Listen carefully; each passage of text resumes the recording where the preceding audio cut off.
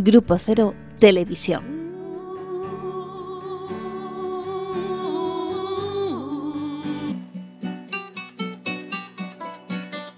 No estamos exactamente en ningún sitio. Somos esos arcángeles negros que solo aparecen para enfrentarse Hola. Muy buenas. Hola, compañeras. ¿Qué tal? Hola, ¿qué tal? Parece que hoy somos más. Estamos en más lugares Más geográficos. lugares. Sí, otro- otra ventana. Muy bien, ¿y a dónde nos vamos bien. hoy? Pues eh, Ah. en catalán, que pasó la mayor parte de su vida, ha pasado y pasa porque está viva la mayor parte de su vida en Madrid. ¿En Eh?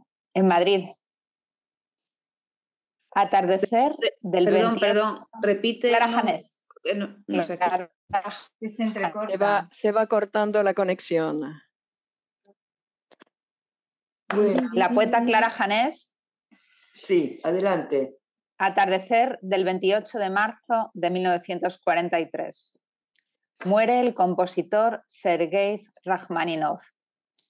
Clara Janés, con tres años, escucha en su casa su segundo concierto para piano y orquesta. Hundida en la butaca, se deja seducir por la música, mientras a través de la ventana contempla cómo aparecen los astros. A los cuatro años, la familia de Clara se traslada a, a Pedralbes y, puesto que le prohíben salir a la calle, se adueña del jardín y la azotea y se acostumbra a no estar donde está, a trasladarse a otro lugar, que irá haciéndose más real con la lectura y la escritura. Con seis años, mientras experimenta por primera vez en clase la emoción poética de la palabra con los versos de Santa Teresa de Jesús, vivo sin vivir en mí y de tal manera espero y tan alta vida espero que muero porque no muero.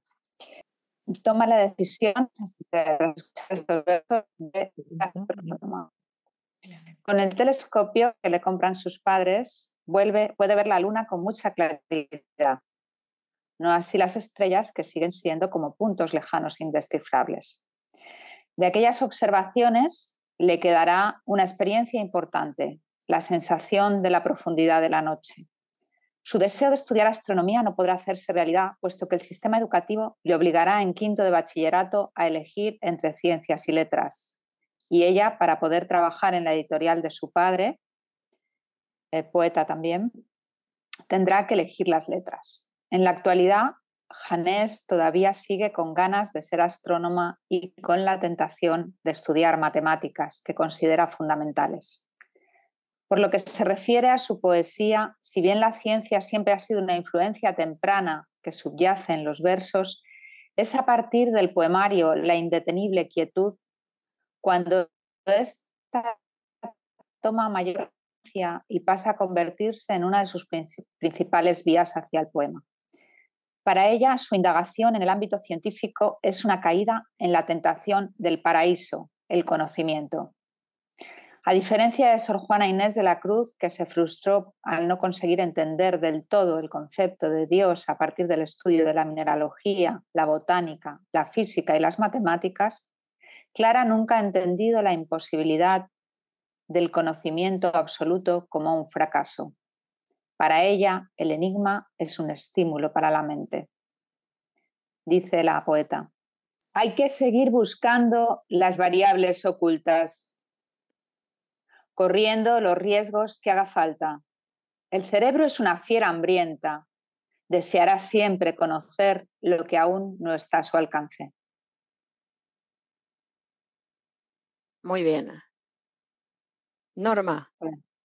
Fugacidad de lo terreno. Todo es polvo, soledad y ausencia. Todo es niebla, oscuridad y miedo. Todo es de aire, balanceo inútil sobre la tierra. Manos vacías que acarician viento, ojos que miran sin saberse ciegos, pies que caminan sobre el mismo trecho siempre de nuevo. Vemos sin ver y en la tiniebla estamos. Somos y somos lo que no sabemos. Hay en nosotros de la llama viva solo un reflejo. Caen los días en otoño eterno, pasan las cosas entre sueño y sueño, llega la noche de la muerte y calla nuestro silencio. Está bien. Del libro Límite Humano de 1973. Ah, este poema que acabo de leer, sí. Límite Humano, 1973. Esta, hay una editorial que es Plaza y, Jan- y Janés. ¿Será el padre, Janés, de ella? Esa. ¿Eh? Sí, el, el hijo es. eh, sí, sí, es el padre. La editorial la funda el padre.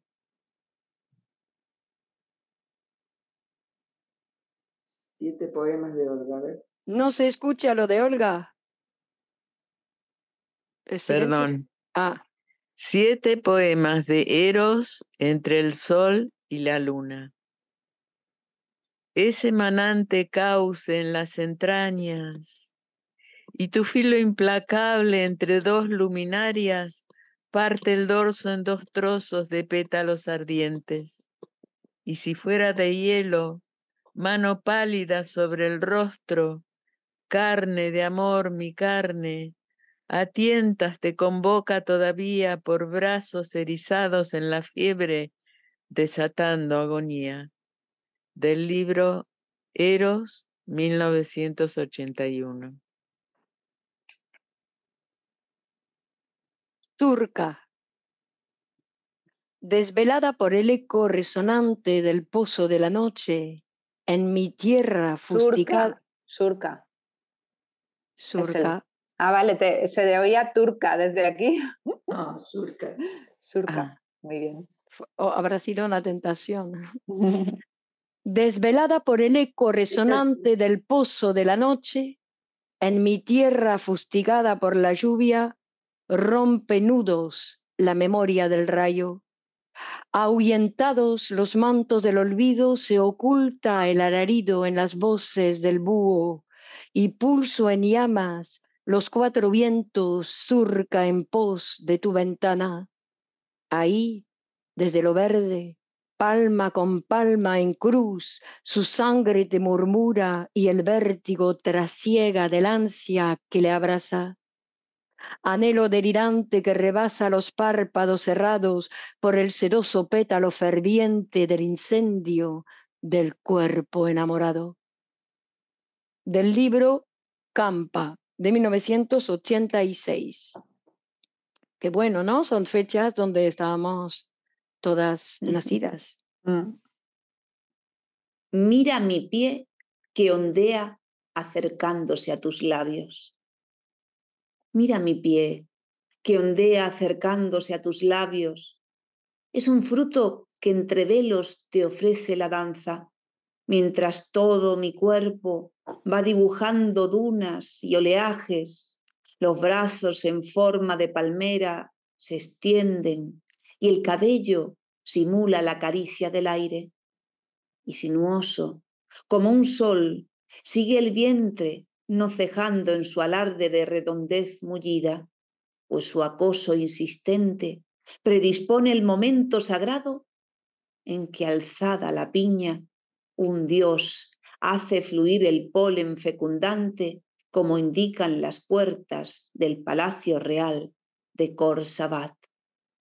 Del libro Creciente Fértil de 1989. Siempre un libro diferente. Tiene muchísimos libros, sí. Ajá. Prolífica, muy prolífica. Qué guay. En recuerdo de Urpaya El micro, boca. Gíralo un poquitín. Hacia ti. En recuerdo de Urpaya galanteo tu boca. ¿Mejor? Sí.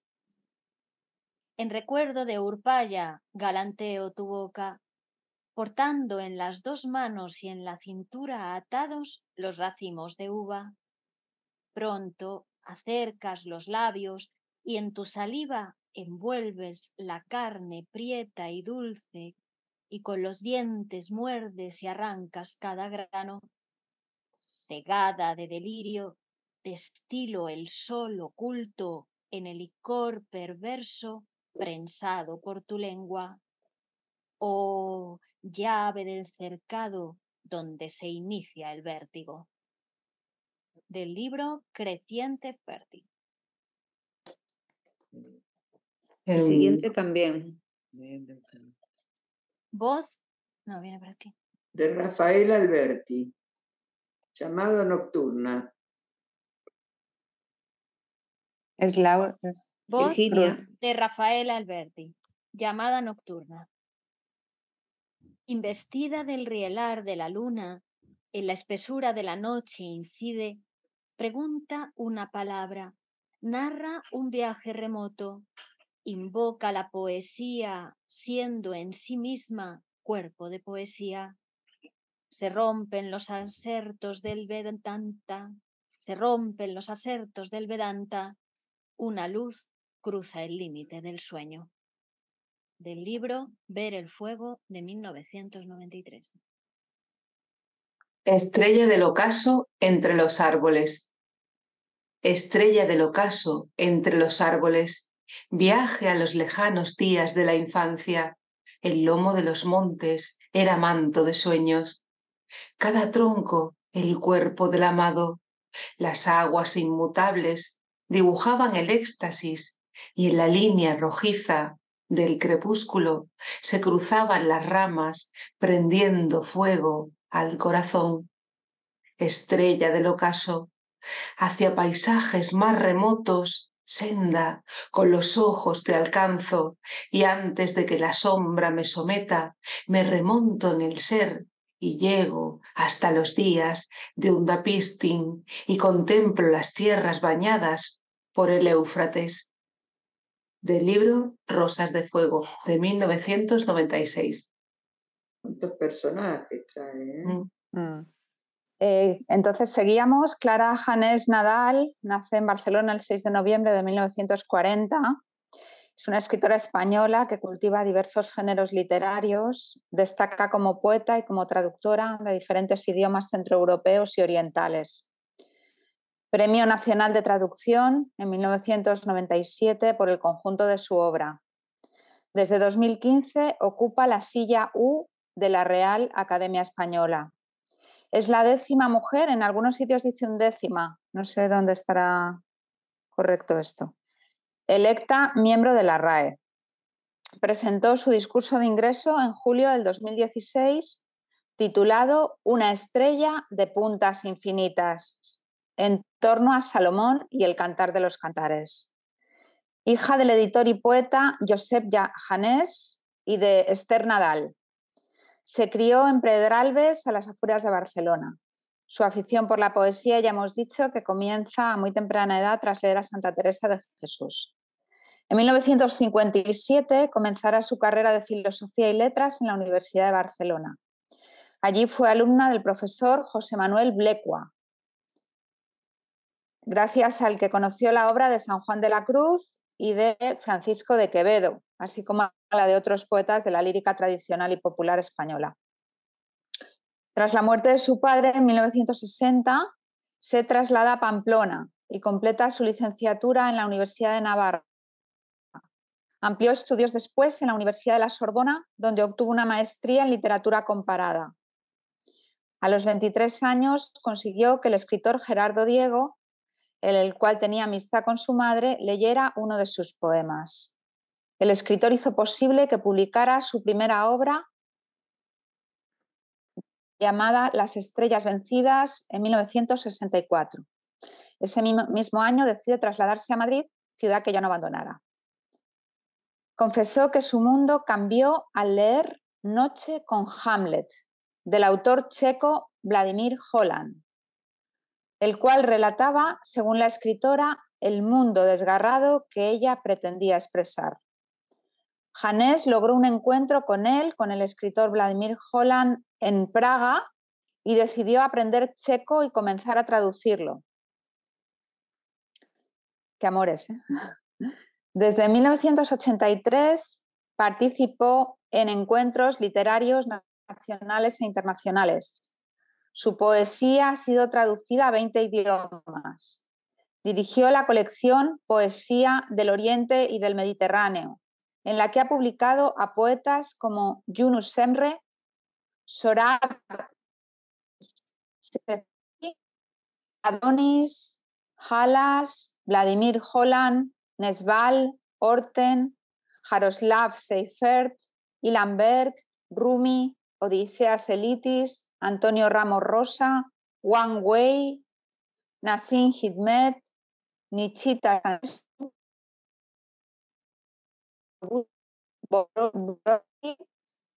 Hasef Degisaf, Mansur Alat, Mahmoud Darwish, Suhat Abad, Foruk Farrohat, Ahmad Shamlu, Abbas Kiarostani y Al-Mutanabi, Safo y Rilke.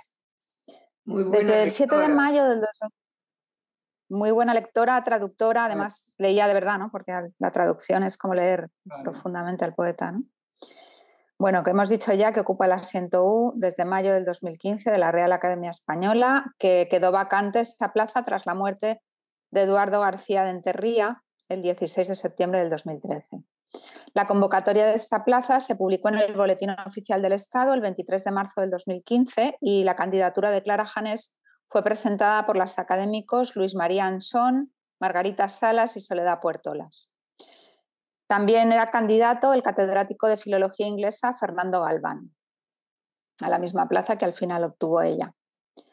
Clara Janés es la décima mujer elegida miembro de la RAE, la primera fue Carmen Conde, que ingresó en 1979, y la siguieron Elena Quiroga, Ana María Matute, Carmen Iglesias Cano, Margarita Salas, Soledad Puertolas, Inés Fernández Ordóñez, Carmen Riera y Aurora Ejido.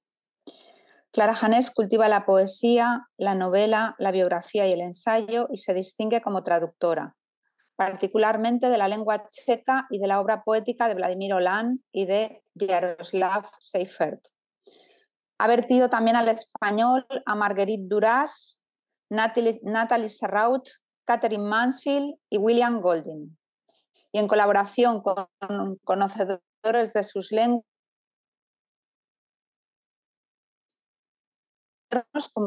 antiguos. Una hispanista, Virute Siprijaustkait, describe a la autora como un ejemplo significativo de la evolución de la mujer en la literatura española. Si quieren leer la segunda ronda, por favor. Un momentito que ya vamos. Sí.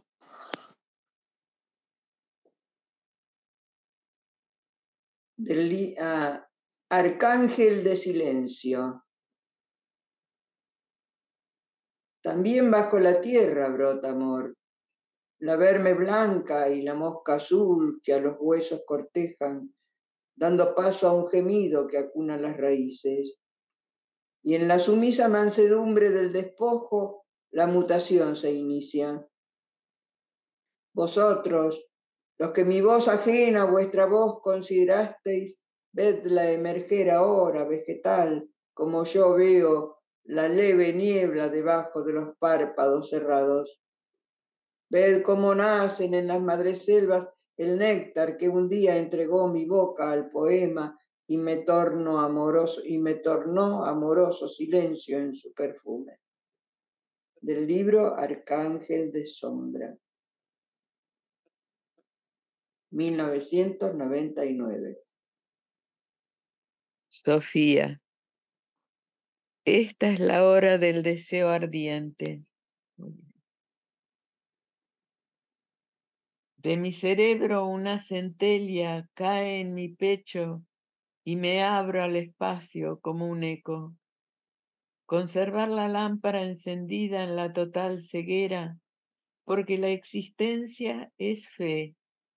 Abrir el perfume de las rosas y que se ensanche venga una oleada de agitarse, de la, un agitarse de la tierra, un derrumbamiento, una sacudida que desplace la visión. No se reconstruye el mundo antiguo, No se levanten más cúpulas vidriadas. Recójanse los cadáveres y entiérrense y plántense árboles donde hubo fortalezas, árboles en las ruinas, árboles en las tierras estériles, árboles en el desierto del pecho, para atraer a la lluvia, árboles en la memoria que se llenen de pájaros y vuelos. Del libro Los secretos del bosque, del 2002. Amiga, te, brillaban dos lágrimas. Por fin nos despedimos sin poder compartir el aluvión de noche. Pero tú me sabías rompiéndome en aceras, recorriendo senderos sin gravedad, desechos, alejándome progresivamente por el vasto universo de veloces esferas, desde aquel chorro negro en cuyo centro el yo se quedaba en la ráfaga, el punto donde nada ni nadie, solo el deseo con su vientre de lava, la muerte por los brazos cargando pesadez, cargando frío, dejándolos colgar, deshaciéndose, aplastándose, la cabeza también, como un cometa dormido rodando a miles de kilómetros, ya a la vez en tus pupilas húmedas, brillantes como estrellas en el agua de la noche, de esa noche, cuando abierto y desnudo el corazón como las rosas que desnudan su cráter y el cuerpo les da vueltas como fuego en racimos, devorador de órbitas elípticas que ensanchan el espacio infinito, dejaba solo, solo, solo ese punto lejano y arraigado, negro insaciable, pozo de tortura y destello, que reclama, que reclama violento, más viento entre los sauces que lloran, más delirio en las cascadas irisadas, más cobijo en las manos de la lluvia, más temblor en el beso de la tierra y agónico encuentra nada más el pánico de miembros desarmados y se entrega fieramente al sueño extraño, en la imbriedad y veneno de un instante de amor propio, inasible, incomprensible, inexpresable, intransmisible, incomunicable, incompartible, apenas un ahogo, perecer, y todo en tu pupila impregnada de infancia. Del libro de Alienaciones de 1980. En el umbral oscuro la copa destelló. En el umbral oscuro la copa destelló y en mi mirada se adentró la filigrana de la plata.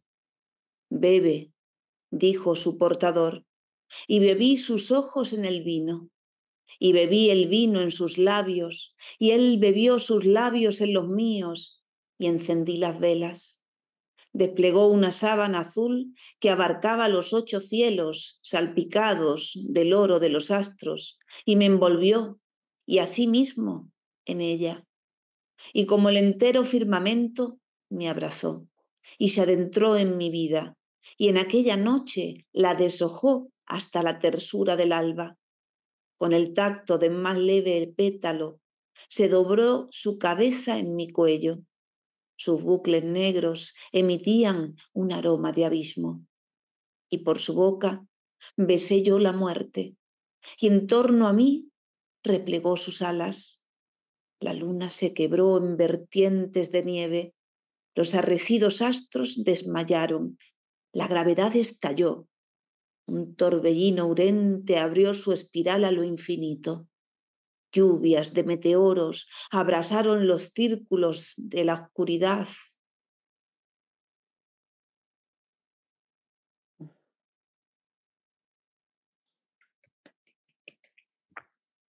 Virginia.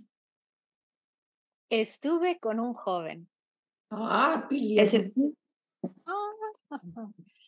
Estuve con un joven y supe al fin lo que era el violento arrebato, la agilidad vibrátil, cavidades melosas en la carnosa pulpa, suavemente entreabierta hasta el linde desistente, el perfecto engranaje, la densidad precisa de jugos derramados, la inclinación de vida, la posición exacta y la sabiduría del mutismo, la belleza de un glande. El libro Eros, de Qué bueno. 1981. Esta época es una lanzada. Fue al alba. Fue al alba. Perdona por la hora. Tus párpados del sueño callaban debajo de mi almohada y al irrumpir la luz primera se dibujó en el blanco tu entrecejo fruncido y tu voz murmuró unas palabras. En el candil dejaste un gesto de fatiga y luego tu mirada me llamó desde las rosas. Corrí a abrazarlas y me senté a la mesa y en el papel vacío seguí los trazos que tu mano deslizaba. Desenredó del miedo el oculto sentido, del miedo a ya no ser para ser con, del miedo a no saber si uno podrá abarcar esa divina mutación de ser en uno, dos, siendo arrancado y arrancando así al otro de la muerte. Y en la página tomó vivo sentido la palabra resurrección. Mm. Del libro Campa 1, Antología Personal, 1979.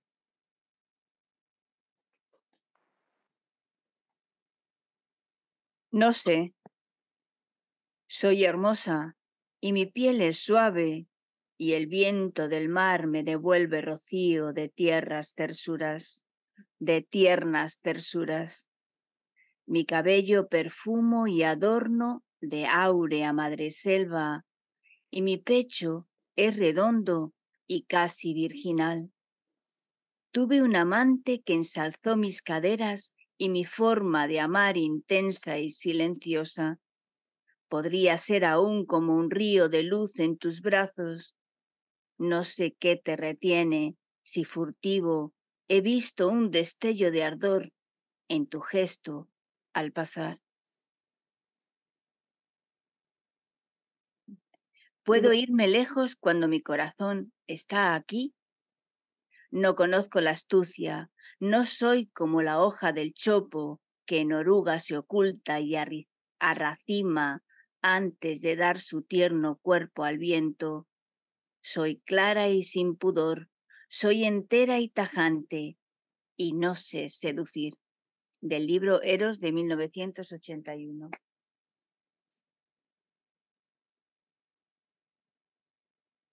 Comienza la tercera ronda. Uy, otra vez tiene problemas de conexión. Alejandra quedó congelada la imagen. Se fue.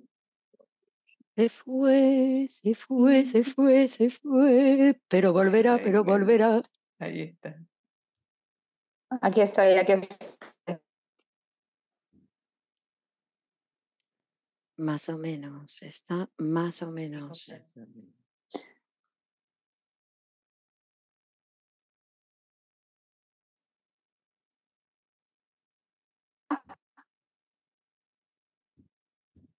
¿Me escucháis? Ahora sí. Vale. El libro Campa, en 1989, sitúa a Clara Janés entre las grandes poetisas en tratar el tema por antonomasia de la literatura, el amor. Esa es una frase de Rosa Chacel en 1989. Dentro de una corriente literaria concreta de finales del siglo XX resulta complicado. Diversos críticos afirman que parte de la obra de Janés se podría englobar en la tendencia literaria de los novísimos, aunque no la incluyen como tal en este grupo. Es una frase de Shannon en 2012. La poetisa posee un lenguaje y un estilo propios. Se considera la autora barcelonesa como una mediadora entre el mundo y occidental, La intención de la poetisa es derribar las barreras entre las culturas orientales y occidentales y se refleja en el contexto histórico por la presencia de España en el Islam y en el presente. Parte de su obra, traducida a más de 20 idiomas, está contenida en los siguientes volúmenes. Las estrellas vencidas, 1964, Límite humano, 1974, En busca de Cordelia y Poemas rumanos, de 1975, Antología personal, de 1979, Libro de las alienaciones, 1980, Eros, 1981, Campa, 1986, Fósiles, 1987, Rosas de Fuego y Diván del Ópalo de Fuego, 1996, La indetenible quietud, 1998, El libro de los pájaros, 1999 y Para Alajes, 2002. Eh, perdón, Elena, tiene libros escritos hasta que yo haya visto hasta el 2017, hasta el 2020, o sea que está, sigue escribiendo ella. No, no, los pone aquí, pero vale. Si queréis los reconocimientos y los premios que tienen varios premios de traducción, Premio Ciudad de Barcelona, los podemos ver en la revista, no creo que sea necesario aquí. Y simplemente mirad todos los libros que tiene, que es una poeta prolija, muy prolija eh, estarán también puestos en la revista, pero ya digo, hasta 2020 estuvo publicando libros, traducciones que le hacen. Y yo creo que ya podemos leer Hasta los 80 años publicó, porque sí. Y siguió, y siguió escribiendo porque, porque tiene poemas inéditos en algunas publicaciones de revistas de internet y eso tiene poemas inéditos. O sea que yo creo que escribe hasta hoy, hasta hoy día. Bien, si quieren leer la tercera ronda. Sí. Y se acercan las manos.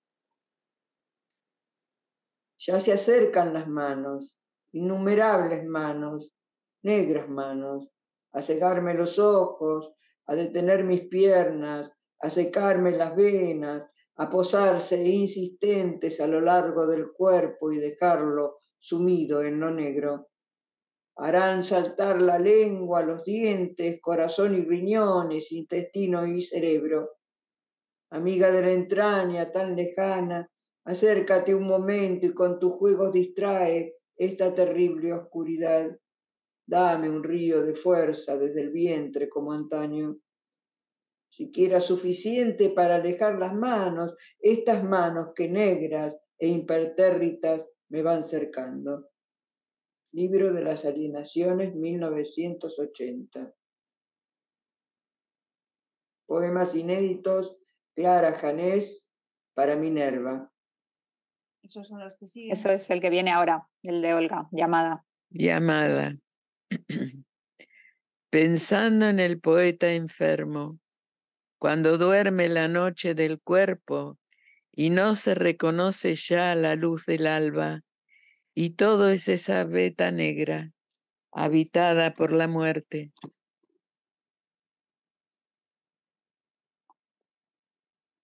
Y todo es esa veta negra habitada por la muerte del astro que la alimentaba.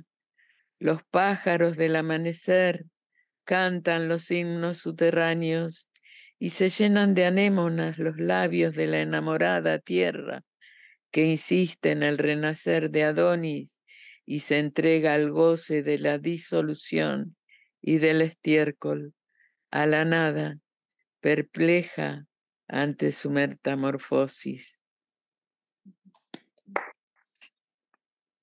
Poema del agujero negro. Ven, te acogerán las ondas perfectas de la caída y en descenso verás tres sores azules, el amor, la libertad y la poesía, cuya raíz se alimenta de la sangre de los dioses muertos. Arderás en su perfume, serás centro de su llama y seguirás resbalando por los círculos concéntricos del oro secreto del deseo, en rotación, en rotación de narcisos, de vertiginosos ecos, y serás tu propio espejo, y así te autoengendrarás en tu superior materia convertida en la energía pura del negro.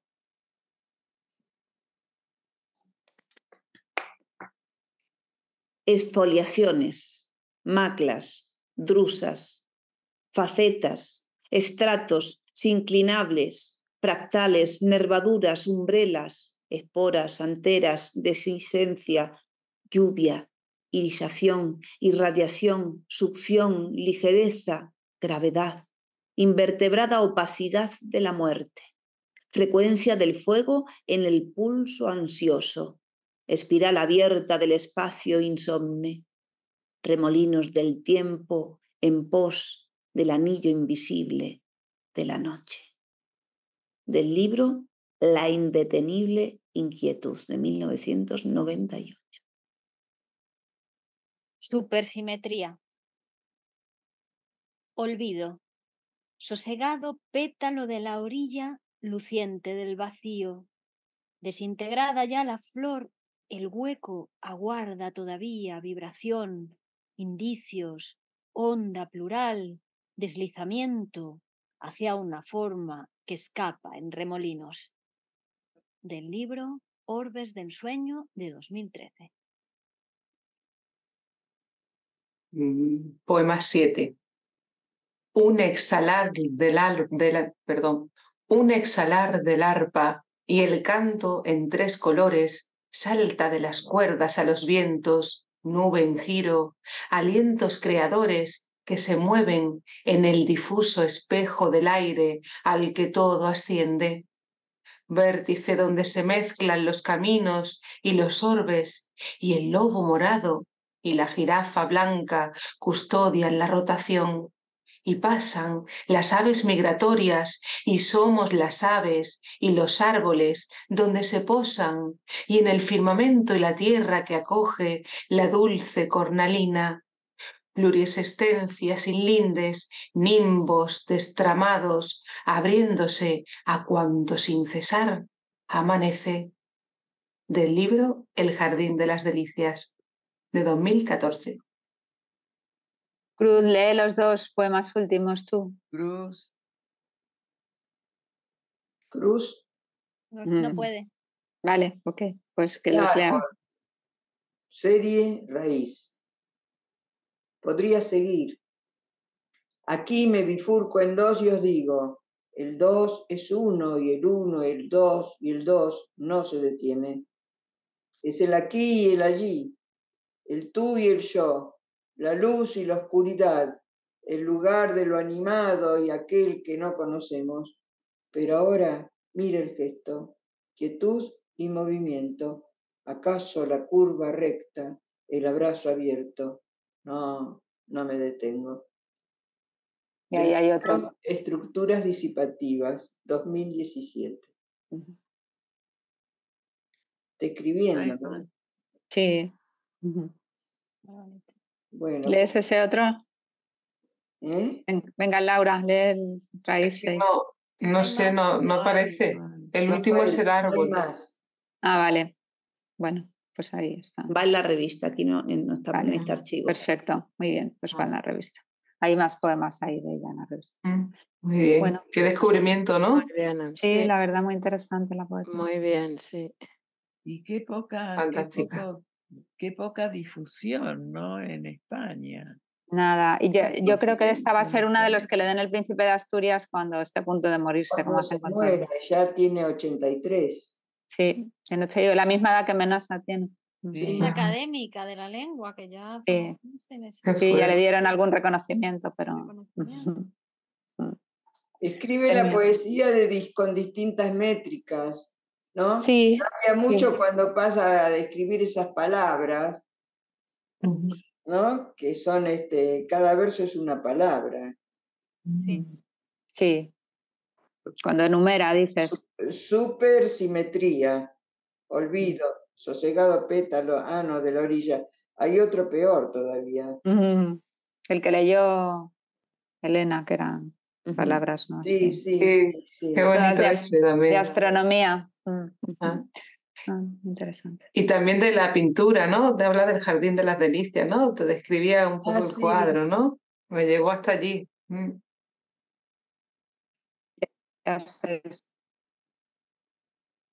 Da un montón de, de poetas. Ella tradujo poetas que no hemos hecho. Hemos hecho unos cuantos. Sí, de los que mencionó. algunos. Carmen Conde, Darwish. Way. Rosa Chacel. Ujú. Sí, la verdad que muchos de los poemas los hemos visto, muchos de los poetas los hemos visto aquí en el programa, pero Sí. otros un poco como para investigarlos porque. Sí. una buena lectura.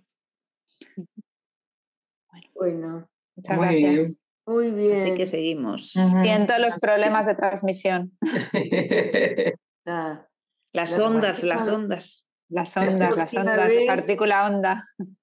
Sonda no, ¿eh? Yo, ¿no? La ¿Cómo? próxima vez pro- eh, presenta el poeta No. Norma. Norma, no. sí. Mijail Seminus, Seminescu, Ah, mira, vale, bien. ¿Eh? rumano. Ah, ah, creía que era mi primo. Perdón, no, no es. No. Muy bien. Qué tonta que sos, Elena. Premio, premio. Bueno, muchas gracias. Hay que asegurarse Un abrazo. Chao, chao. Un abrazo. Chao. Chao. Hasta luego. No estamos exactamente en ningún sitio. Somos esos arcángeles negros.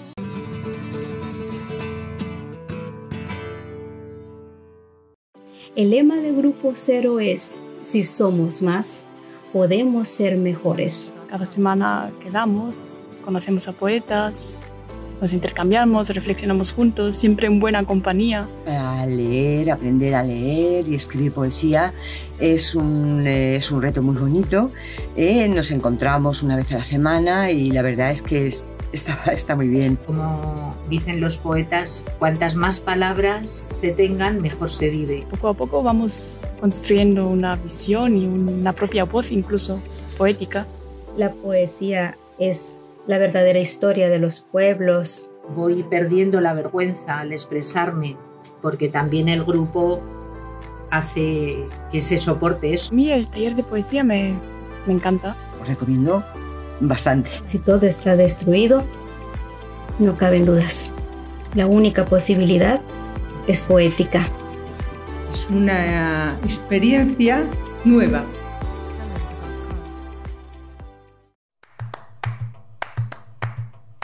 Cada martes a las 10 y cuarto de la noche, en hora española, tienes una cita con la Sexualidad Femenina Radio. Encuéntranos en YouTube, en Facebook o en Spotify. Participa con tus preguntas y comentarios en este espacio dedicado al psicoanálisis y a la sexualidad femenina.